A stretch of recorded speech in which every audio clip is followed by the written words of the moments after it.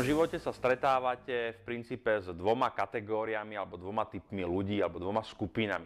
Tá prvá skupina to sú ľudia, s ktorými sa stretávate radi, ich prítomnosť je pre vás príjemná, nabíjajú vás energiu, cítite sa dobre. No a potom je tu druhá skupina ľudí, ktorí práve naopak, keď sa s nimi stretnete, tak máte pocit, ako by vás vysuciavali, nemáte energiu, ste podráždení, rozmrzeli. No a do tejto skupiny patria aj ľudia, ktorých by sme mohli nazvať egoistickí alebo egoisti. No a o tom bude ten dnešný video príspevok. Vitajte, moje meno je Martin Prodaj, prihováram sa vám z blogu Time Life Management a dneska budeme hovoriť o tom, ako sa správať alebo ako jednať s egoistickými ľuďmi a či vôbec s nimi nejakým spôsobom jednať. Možno na začiatku by nezaškodilo, keby sme si povedali o tom, kto to vlastne je egoista. Pretože nie každý egoista musí byť akoby zlý človek. Istá dávka egoizmu, alebo keď to preložíme do takej pochopiteľnej reči, starania sa o seba je veľmi dôležitá. Pretože pokiaľ by sme nemali takúto elementárnu starostlivosť o seba samého, tak by sa kľudne mohlo stať, že všetku svoju energiu, všetku svoju pozornosť venujeme ľuďom okolo nás. To by napríklad nebolo e, zlé v prípade, že sme matka Teresa, ktorá venuje alebo venovala svoj život tým núdznym okolo seba a vďaka tomu sa stala sveticou. No ale kto z nás je Matka Teresa? Potrebujeme jednoducho istú dávku, možno istú mieru egoizmu na to, aby sme e, vedeli sa venovať vlastným potrebám, aby sme svoju bytosť, svoju osobu, svoje telo nezanedbávali. Ono áno, okolo seba možno nájdete ľudí, ktorí sa výraznejším spôsobom venujú e, ľuďom alebo okoliu okolo nich a tak trošku zabúdajú na seba.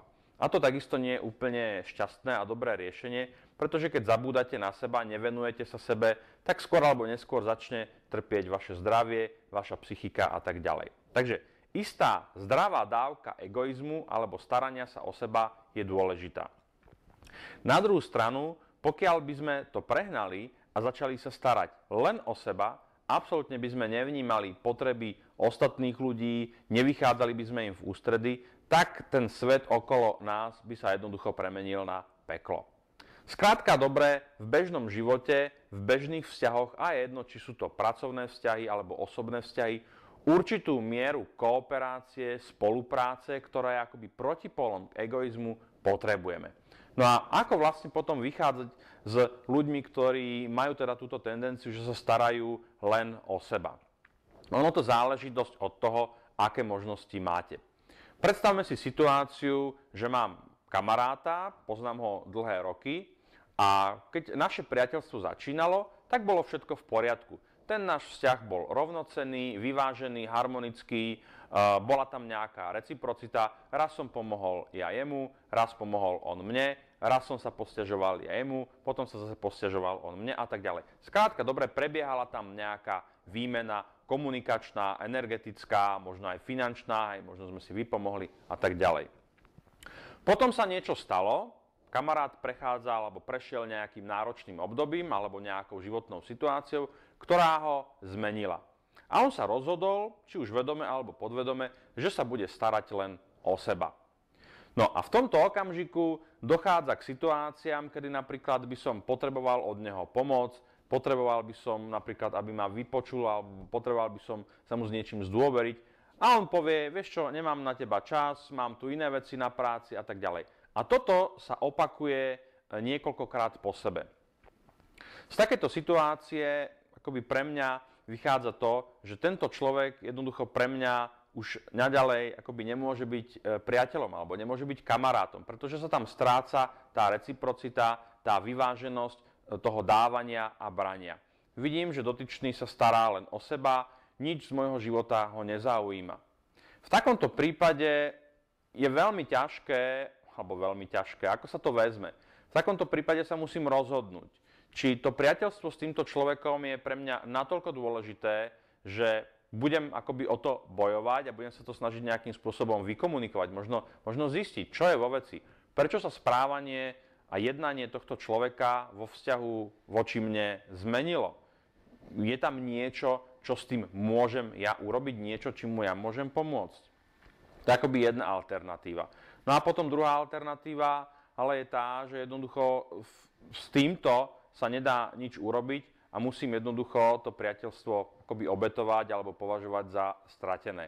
A viete, v živote je to tak, že ľudia k vám prichádzajú a odchádzajú. Hovorí sa, že žiadne stretnutie nie je náhodné. Niečo vás vaši priatelia, vaši známi naučia a potom sa z vášho života tak akoby vytratia a neviete, či sa niekedy akoby objavia znovu. A toto môže byť proste ten príklad alebo ten prípad, že tento môj kamarát jednoducho dospel do štádia, kedy naše cesty idú akoby rozdielným smerom a keby som sa s ním naďalej stretával, tak by som len tým, uh, len tým trpel. Takže logickým a múdrym rozhodnutím je s takýmto človekom sa akoby nestretávať, pretože tam nie je nejaká šanca, nejaká možnosť, že tento človek sa vo svojom správaní, vo svojom jednaní zmení.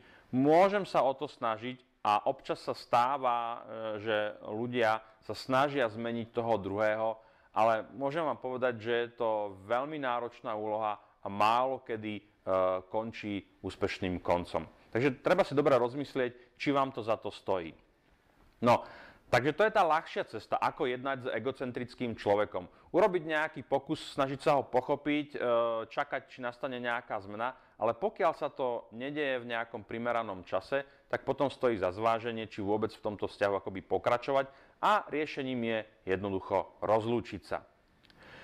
No a potom je tu ťažšia situácia, alebo ťažký kontext, kedy napríklad musíte jednať s egocentrickými ľuďmi napríklad v práci. Ste v nejakom zamestnaní, v nejakej firme, spoločnosti a musíte komunikovať s ľuďmi, ktorí sa starajú len o seba. A tu na to začína byť trošku komplikované, pretože sa nejedná o zdieľanie nejakých osobných zážitkov, osobných pocitov, kde musí byť zachovaná nejaká reciprocita, ale napríklad môže ísť o to, že čakáte na vyplnenie nejakých, nejakých úloh alebo nejakých aktivít, ktoré ten človek má vám doručiť a na základe nich potom vy môžete pokračovať vo vlastnej práci. Nemyslím si, že vôbec takáto situácia je akoby dlhodobo udržateľná, keď vaša práca je závislá na e, niekom druhom. Takým tým najjednoduchším riešením opäť, a to súvisí aj s tou prvou situáciou, ktorú som popísal, je snažiť sa toho človeka pochopiť, odkomunikovať to s ním, pomenovať veci, ktoré sa medzi vami dejú. Že čakáte na nejaké úlohy, na nejaké činnosti, od ktorých ste závisli a nerozumiete tomu, prečo vám tie činnosti, tie úlohy, ktoré sú pre vás dôležité, ten dotyčný akoby nedodal. Čiže ten sedliacký rozum hovorí, že tým prvým krokom bude jednoduchá ľudská komunikácia, v rámci ktorej sa to budete snažiť nejakým spôsobom riešiť. Ten ďalší krok je, e, pokiaľ to nefunguje, že každý z nás má nejakého šéfa, možno sme v nejakom hierarchickom usporiadaní e, vo firme, každý zamestnanec má nejakého nadriadeného.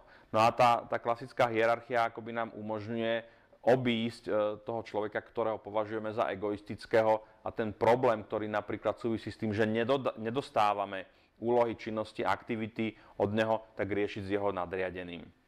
No, a potom opäť akoby takouto poslednou, uh, poslednou inštanciou alebo posledným riešením je, je, že napríklad takáto spolupráca s takýmto človekom môže byť pre nás extrémne vyčerpávajúca. Strácame veľmi veľa energie zbytočnou komunikáciou, riešením rozličných žabomyších vojen, ktoré nás nejakým spôsobom neposúvajú dopredu. A vtedy naozaj stojí za zváženie, či má zmysel v tom kontexte zostávať. Či by nebolo napríklad riešením posunúť sa na nejaké iné oddelenie v rámci firmy, posunúť sa na nejakú inú pozíciu, samozrejme po odkomunikovaní si e, tejto situácie s nadriadenými, alebo v krajnom riešení naozaj, keď e, tým veľmi trpíme a môže sa stať, že to je pre nás veľmi stresujúce, tak má zmysel uvažovať o odchode z práce. Ja viem, že to nie je jednoduché, že to nemusí byť vždy akoby riešenie, ale veľa ľudí odchádza z práce to ste možno nevedeli, nie preto, že majú zlú prácu alebo že majú zlé, zlého šéfa, ale preto, že majú mizerných kolegov, s ktorými nevedia akoby e, koexistovať na jednom mieste a nie je to o tom, že by sa napríklad o to nesnažili. Takže toto sú možno také, také inšpirácie alebo také námety, ktoré ma napadali vtedy, keď som sa zamyslel nad tým, že ako jednať akoby s, s egocentrickými ľuďmi, A naozaj takéto základné pravidlo je urobiť nejakú snahu o nápravu a keď to nefunguje, tak ísť od toho preč, dať ruky od toho preč, pretože to, že je niekto egocentrický, je jeho záležitosť. Nechcem povedať, že problém, pretože títo ľudia to málo kedy vnímajú ako problém, alebo teda nie vždycky to vnímajú ako problém. A máme málo času. Ten náš čas v živote, v práci je veľmi vzácný na to, aby ste ho strávili s ľuďmi, ktorí vám lezú na nervy, s ktorými si napríklad nerozumiete. Nemusí to byť nikoho chyba, nemusí tam byť žiadny zámer, uh, nemusí to byť nič zlomyselné, ten človek nie je egoistický, pretože vám chce nejak ublížiť alebo uh, vás poškodiť. Môže to tak byť, ale, ale nemusí. Je veľmi ťažké akoby hľadať motívy. Čo je za tým správaním takéhoto človeka? To by naozaj chcelo nejakú hĺbšiu analýzu, akoby hĺbší rozhovor. Čo chcem ale povedať, že naozaj e, nemá zmysel akoby zotrvávať e, v úvodzovkách akoby patologických alebo nefunkčných vzťahoch, ktoré nemajú pre vás žiadny prínos. Určite som nepokryl všetky aspekty toho, ako, ako pracovať alebo ako jednať s egoistickými ľuďmi a preto budem veľmi rád, pokiaľ vás čokoľvek napadlo, máte nejakú pripomienku k veci k tejto téme, budem rád o tom diskutovať a môžeme ďalej v tom dialógu, ktorý sa týka toho, ako jednať, ako vychádzať s egoistickými ľuďmi, pokračovať ďalej. Teda či už v komentároch e, pod týmto e, videom, alebo na blogu, alebo na facebookovej stránke. No a zatiaľ vám teda držím palce v tom, aby ste čo najmenej vo svojom osobnom aj pracovnom živote narážali na egoistických ľudí. Držte sa.